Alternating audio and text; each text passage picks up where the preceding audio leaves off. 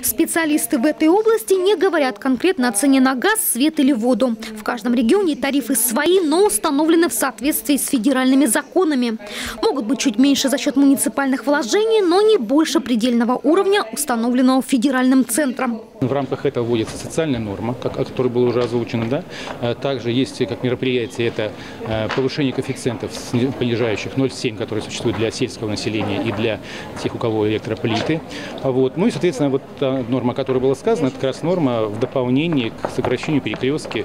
То есть, если вы человек обеспеченный, вы позволяете себе, у вас несколько квартир, несколько там, приборов учета, соответственно, да, потребляете большое количество электроэнергии, то в пределах вот, э, э, какой-то лимита, который сегодня определяется, какой он будет, оплачивается по тарифам регулируем, все остальное э, по тарифам повышено. Уровень цен контролируется государством, и здесь каких-либо изменений не предвидится.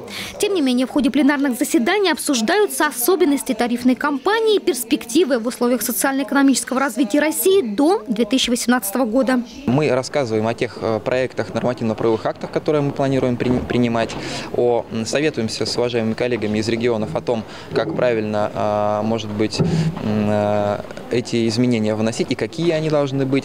И, безусловно, учитываем их мнение при разработке федерального законодательства, в том числе методика по тарифному регулированию. Будут говорить на семинаре не только о тарифообразовании, но и о ключевых проблемах системы регулирования, например, в электросетевом комплексе. Одним словом, о текущих реалиях и возможных перспективах. Рассмотрят и предложения по вопросам совершенствования законодательства в коммунальном комплексе. Елена Овсецина, Михаил Дубинин, телекомпания «ФКТ».